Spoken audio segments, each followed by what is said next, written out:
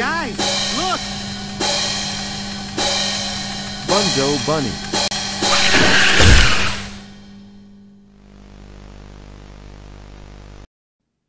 Whoa.